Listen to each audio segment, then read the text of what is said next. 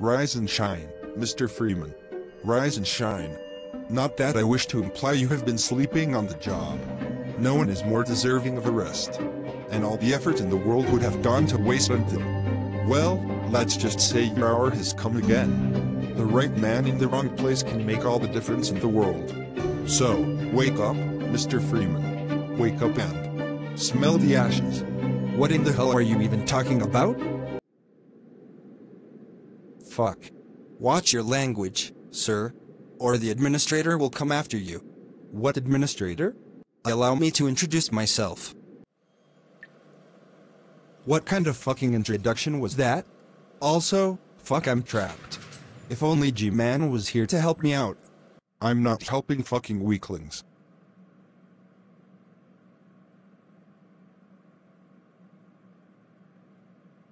I think I'll just take the black scientist's daughter, instead. Nigga, what?